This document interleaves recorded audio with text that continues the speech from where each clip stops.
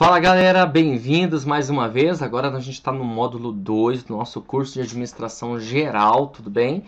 E nesse módulo nós vamos tratar a respeito do, do planejamento. Eu vou dar muita ênfase no planejamento. Mas antes é necessário que você, evidentemente, entenda todo o processo organizacional, né? Ou como acontece o processo organizacional. E quando se fala em processo organizacional, pessoal, você sempre vai pensar nas funções funções administrativas, ok? Deixa eu marcar aqui, ó.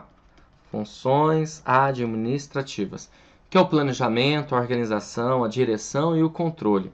Você deve se lembrar do seguinte, que lá na teoria clássica de Fayol, ele já conceituou as funções administrativas, né? Que era planejamento, organização, comando, coordenação e controle. São, eram cinco funções administrativas. Na teoria neoclássica, a gente pode dizer assim, né? na teoria neoclássica, nós vamos ter quatro funções administrativas. É importante que a gente entenda cada uma dessas. Vamos caminhar? Vamos lá. Ó. Primeiro, evidentemente, a começar pelo planejamento. É importante que você entenda o que significa aí, qual é a ideia que nós vamos ter a respeito do planejamento. Bom, gente, é o seguinte, planejar, planejamento é você programar, tá? Programar, você vai estabelecer, tá certo? E você vai definir também. O que, que nós programamos, é, estabelecemos e definimos?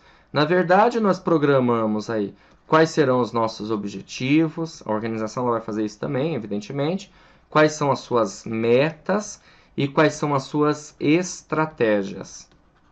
Estratégias, ok? Beleza? E aí vale lembrar para você que estratégia é tudo o que se pretende alcançar tudo que se pretende alcançar, a gente pode entender como objetivo.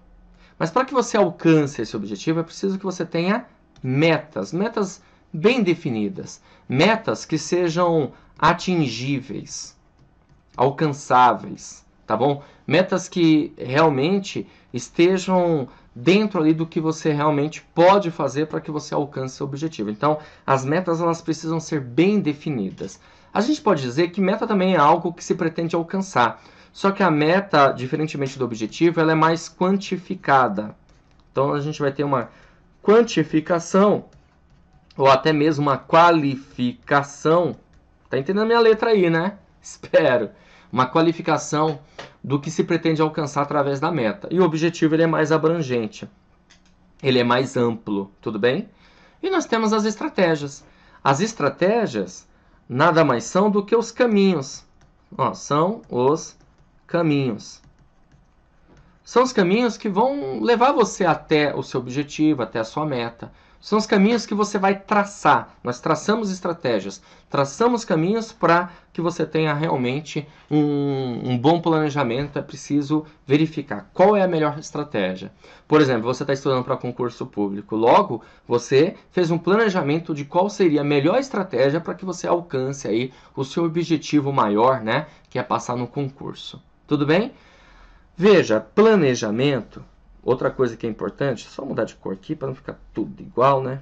E não cansar aí a sua vista, tá? É, deixa eu aqui verde. Planejamento, pessoal, é uma ideia também que a gente vai ter de reduzir as incertezas. Tá bom? Reduzir as incertezas. Sempre pense numa coisa, que planejamento é para o futuro. Nós nos planejamos pensando no futuro. Nós, inclusive, criamos cenários cenários, imagens futuras, tudo bem? Então é pensamento futuro. Porém, o futuro, se tem uma coisa que o futuro é, é incerto. O futuro é incerto, ou seja, a gente não tem uma certeza absoluta do que vai acontecer amanhã ou depois, não é verdade? Então você faz o que? Você faz um planejamento para que você possa reduzir as incertezas. E para que você tenha um bom planejamento, é preciso e necessário, na verdade, que você tenha o quê? Ô, oh, cadê a canetinha? Volta a caneta. Aqui, achei. É preciso, na verdade, que você tenha o quê? Informações. Opa, informações. Tá bom? Dados. Dados. Então, logo, você tem que fazer um que um levantamento um levantamento de dados, desses dados, dessas informações. É, pensar em possibilidades, probabilidades de acerto, de erro, entendeu? Tá bom? Mudanças que podem ocorrer repentinamente, é, de repente pode ter uma mudança, alguma coisa assim. Então tudo isso tem que ser pensado no planejamento. Quanto mais dados você tiver, quanto mais informações você tiver de uma situação, até, vou até escrever essa palavrinha aqui que eu acho que é importante para nós, né? Ó. Deixa eu só mudar a cor aqui que está muito já muito igual, né? Então, quanto mais informações você tiver de uma determinada situação, mais chance você vai ter de acerto. Mas cuidado em dizer que planejamento elimina as incertezas, isso tá errado. Não vai nessa onda não, tá bom? Beleza? Então, planejamento é basicamente isso aí. Claro que como a, o módulo é totalmente voltado para planejamento, a gente vai discutir mais sobre isso, sobre planejamento, ok? Vamos lá, continuando. Uma outra coisa importante também para você saber é sobre a organização. Depois que foi planejado, você precisa organizar. Organizar, pessoal, nada mais é do que colocar em prática, colocar em prática aquilo que foi na verdade planejado. Então, planejamento a gente pode pensar que é colocar no papel e organização é colocar em prática. Quando nós organizamos, significa que você está implementando, fazendo a implementação daquilo que foi na verdade planejado. Você está na verdade implantando aquilo que foi fazendo implantação daquilo que foi na verdade é, planejado, ok? Podemos pensar também, pessoal, que a organização é a execução, é executar aquilo que foi, na verdade, planejado. Então, aqui na organização, a, a instituição ela vai procurar fazer o quê? Ela vai procurar, na verdade, alocar todos os recursos, ok? do planejamento. Então, tudo aquilo que foi planejado, ela tem que alocar os recursos da maneira adequada para que a coisa realmente possa acontecer e possa se materializar. Ou seja, né, a gente vai ter aqui também ó, a ideia da materialização do planejamento através da execução. Senão o negócio fica só no papel, não pode, tem que, é, tem que ser colocado em prática, se materializar tudo aquilo que você entendeu que era correto para a organização, tá? Então a organização ela vai fazer isso, vai verificar, poxa vida, nós fizemos esse planejamento, o nosso planejamento está voltado a isso, as nossas estratégias são essas, agora nós precisamos fazer o que? Implementar tudo isso, tá bom? Alocar esses recursos. Então é isso que vai acontecer nessa função administrativa aí chamada organização, tudo bem? Vamos lá. E nós temos também a direção. A direção ela tem dois focos aqui. O primeiro foco da direção é a coordenação. Tá bom? E o que, que essa coordenação vai fazer? Ela vai, precisa fazer ajustes. Fazer ajustes. Harmonizar. Veja que interessante, pessoal. Eu costumo dizer o seguinte, que no planejamento, nós fazemos um planejamento pensando na, fazendo uma previsão para o futuro. Lembra que o futuro é incerto? E claro que você, é, na verdade, fez essa, aquela, aquela previsão de acordo com dados, com informações que você tem. Só que na hora da execução, evidentemente aparecem o que? Os imprevistos, coisas que você não contava. Então a gente vai ter aí os imprevistos. E por conta desses imprevistos aqui, você passa a ter o que? Barreiras, né? obstáculos, e como, que, como lidar com essa situação? Fazendo ajustes. Você precisa se ajustar à realidade. Você precisa ajustar o que é planejado com o que está sendo executado. Ok? E harmonizar o planejamento com a execução. Então, por isso que a parte da direção, da coordenação, ela se faz importantíssima. Então, existe uma interdependência dessas funções administrativas. Ok? Outra coisa também interessante aqui na direção é a liderança a liderança, tá? Que inclusive liderança, pessoal, vai ser um tema à parte para a gente estudar, muito importante.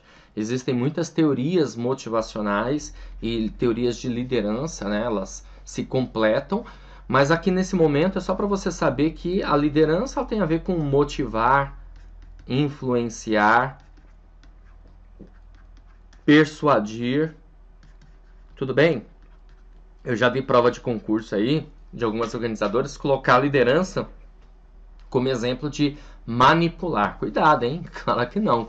Com certeza isso vai estar errado. A liderança, na verdade, é aquela pessoa que é líder, ela tem a capacidade de estimular e fazer com que as pessoas realmente façam aquilo, fazer com que aquelas pessoas realmente é, executem a, o planejamento, né? tem a execução do planejamento. Por isso que a direção é, vai ser essa ideia mesma de você ter aí ajustes tanto da, do, do, planejamento com a organização, ok? Porque vai ter muito a ver com isso. Liderar com o intuito de motivar que as pessoas façam exatamente aquilo que foi planejado.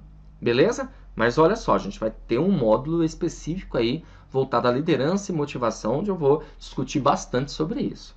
Vamos caminhar? Vamos lá. Controle, pessoal. Nossa, controle é algo importantíssimo também.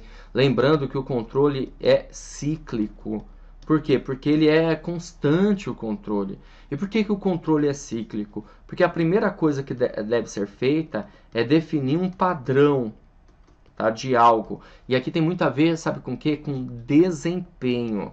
Tá? Então o controle é muito voltado a desempenho. Veja bem, se eu quero alcançar o meu objetivo, eu preciso ter um índice de desempenho. Então, para isso, eu preciso definir meu padrão de desempenho para que eu alcance o meu objetivo. Por exemplo, você está estudando para concurso, certo? Então, qual é o seu objetivo? Passar no concurso público, evidentemente. Agora, como você vai saber se você realmente está chegando próximo desse objetivo? Se você tiver uma avaliação, fizer uma avaliação do seu desempenho. Para isso é importante que você faça o quê? Def possa definir o padrão do seu desempenho. E quando você definir o seu padrão de desempenho, o que, que você vai fazer na sequência? Você vai monitorar se realmente está fazendo daquele jeito, ok? E aí, a consequência disso é que você vai depois vai ter que avaliar. Avaliar o quê? O, o, a definição do padrão de desempenho, se bateu aí com o que realmente você fez, ok? Bom, e nesse caso dá para corrigir. Nós vamos ter aqui a correção certo? E aí você define um novo padrão de desempenho e começa tudo de novo. Por isso que ele é cíclico, tá? Controle tem a ver com monitorar. Controle tem a ver com é, avaliar. Você vai avaliar o seu desempenho, avaliar o desempenho. Muito importante, tá bom? Checar, verificar, tá? Fiscalizar, certo?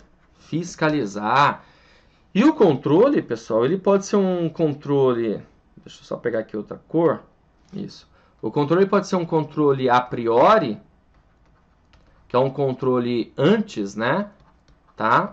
Antes mesmo de executar, você já faz um controle.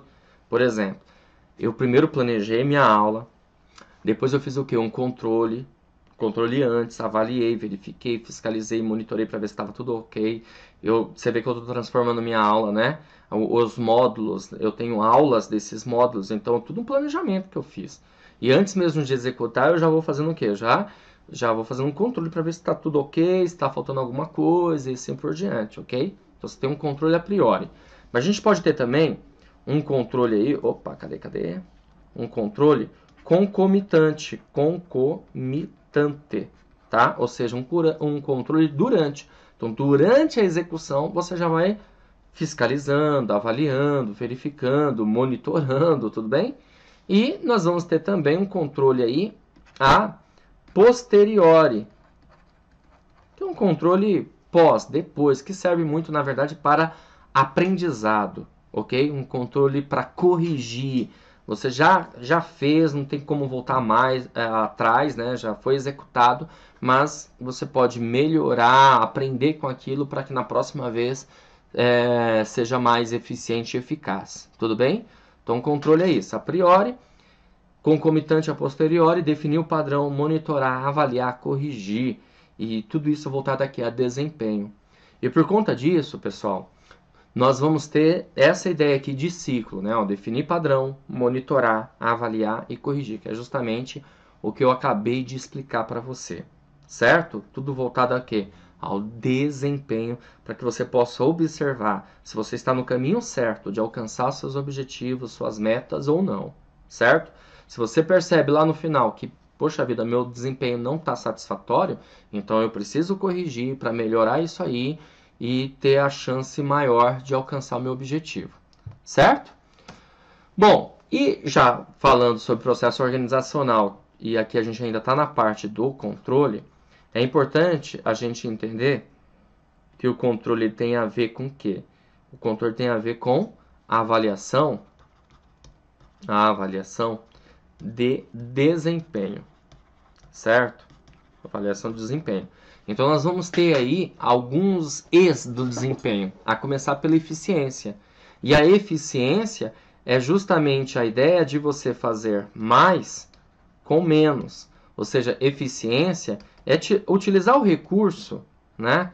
Utilizar o recurso da maneira certa, da forma certa, ok? Sem desperdícios, né? Ser eficiente.